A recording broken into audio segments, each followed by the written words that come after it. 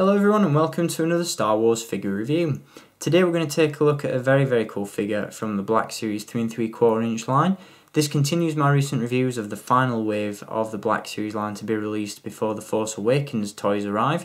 And in today's review we're going to take a look at a character who will actually return in episode 7. And it is of course none other than this guy, the scruffy looking nerf herder himself, Han Solo. Now with this particular figure uh, we do get a vast uh, improvement and a much needed upgrade over a previous release. And I'll talk about that in just a little bit. But as you can see, this particular Han Solo figure is very scene specific. And again, we'll touch base on all of that in just a little bit. Before we do, as always, we're going to take a look at the packaging that this guy comes in. Once again, we do get the standard Black Series look to the card back. We have the uh, TIE Fighter pilot design going on in the background there have an image of Han Solo down in the bottom corner. And on the reverse side, as I showed you in my last review, because this uh, particular figure is a European release, we just have that multi-language warning sticker on the back, which is a bit of a shame. Takes away from the overall aesthetic of the package, but, you know, I'm not keeping these things carded, so I really couldn't care less. So, onto the figure itself, and as I said at the beginning of the video, this particular Han Solo figure is very scene specific. Now, of course, you will recognise this figure from two movies, really. Um, one, The Empire Strikes Back, and two, Return of the Jedi, because this particular figure is actually based on two appearances of Han Solo, which are, of course, his appearance in the Carbonite Freezing Chamber, or the Carbonite Block from Episode 6. Now, I'm not entirely sure which particular film this figure is meant to be uh, based on, whether it's The Empire Strikes Back when he's about to go into the freezing chamber, or whether it's supposed to be a bit of a blend of figures from Return of the Jedi and, and The Empire Strikes Back as well. Because as you can see, he does come with the binders or the handcuffs um, just around the wrists and also around the legs, which would indicate that this figure is based on his appearance uh, in The Empire Strikes Back prior to being put into Carbonite. Uh, but at the same time, this could be when he's been uh, taken prisoner by Jabba. You know, you can basically, it's a multi-purpose Han Solo figure in many ways. Now, not only do we get the Han Solo figure himself with this particular Black Series action figure, but we do get a vital accessory, and that is, of course, the Carbonite block. And I'll give you a look at that in just a little bit. I'm a little bit disappointed with the Carbonite block, but again, I'll, I'll talk about why that is um, in just a little bit. Um, before I do, we'll run through this particular figure. Now, I do actually like this guy, and as I said, he is a vast improvement and a major upgrade over the previous Han Solo and Carbonite figure that was released way back in 2006. Uh, obviously, the articulation is hugely improved, the likeness is fairly decent, uh, and the sculpt is pretty much on the money as well. Now, one thing to point out about this particular figure is the fact that the head sculpt seems to be borrowed from the Saga Legends Han Solo figures that have been released recently. Um, as I say that, a pop-up should appear somewhere on the screen for you to check out my recent review on the Saga Legends Han Solo in Bespin outfit, and you'll probably recognise the head sculpt from that particular figure, although it has also been used on the Endor trenchcoat variation from the Saga Legends line as well. Now aside from the head sculpt, the rest of the figure is brand new, and as you can see we've got a very detailed look for Han Solo. Um, no blaster or force pike included sadly, but we do get a fair share of accessories with this one, so it's not a major issue. Obviously he's missing his trademark black waistcoat, and he doesn't have his belt as he's been stripped of all his weapons.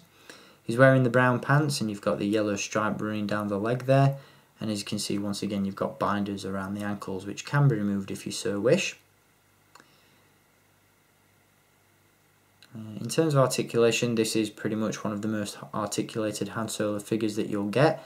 He has a ball joint at the head, ball hinges at the shoulders and elbows, swivels at the forearms, uh, swivel at the waist, swivels at the hips, ball hinges at the knees and ball hinges at the ankles. So decent articulation all round and a decent looking figure as well. Uh, really happy to have added this one to the collection. And I must admit, the Saga Collection 2006 release of Han Solo in Carbonite was a decent figure, um, but this one really does blow it out of the water. Really nice attempt by Hasbro, and a great update on a much needed figure. So, with Han Solo in uh, his, you know, uh, I'll not say human, but unfrozen appearance, uh, we move on now to the major accessory that's included with this figure, and that is of course the carbonite block, which is very very cool.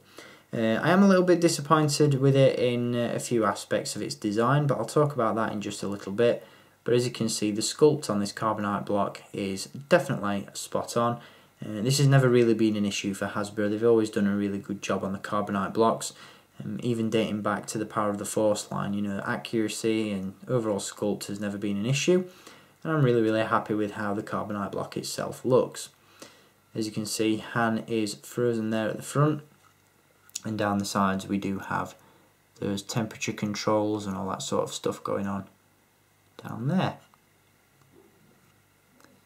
Now the carbonite block itself is a reasonable size, uh, obviously it's in scale with Han himself so it's not hard to imagine Han uh, being stuck inside there.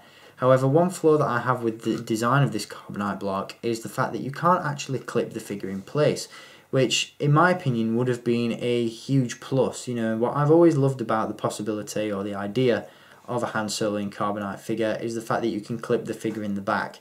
Very similar to how you could with the vintage release from 83 and also the Power of the Force release from 1995. Um, obviously you can't do that with this figure, it's just one solid block, which does take away from uh, you know some of the playability in many ways, but these particular figures are aimed at adult collectors as opposed to children, so that probably explains why that play feature isn't included. Now another issue that I have with this particular carbonite block is the fact that the edges are slanted so you can't actually stand this thing up in a display uh, and there's no hole on the back to hang it up or anything like that so you just kind of had to sort of rest it up against a wall or something like that in some of your displays uh, unless you customize it which is a little bit of a shame you know it's not really um, being designed with uh, displayability, if that's a real word, uh, in mind. But sculpt wise and uh, overall aesthetics are very, very nice, and I'm really pleased to see it included with this figure. So personally, I find this to be one of the most value for money figures from the Black Series 3 and 3 quarter inch line. Get a ton of plastic for your money, you know, the carbonite block, Han Solo himself, and some really cool accessories in the form of the binders. Uh, and overall, it's just a great figure, highly recommended update uh, over the Saga 2006 release, and a vital element of any Star Wars collection. So do feel free to check this one out for yourself. You can purchase it and add it to your collection via the link in the video description. And as always, I hope you've enjoyed this review, and I'll be back with many more very soon. Got a couple of really cool Jawas to give you a look at next, so stay tuned for those, and until next time, as always, thank you for watching, keep collecting, and may the Force be with you.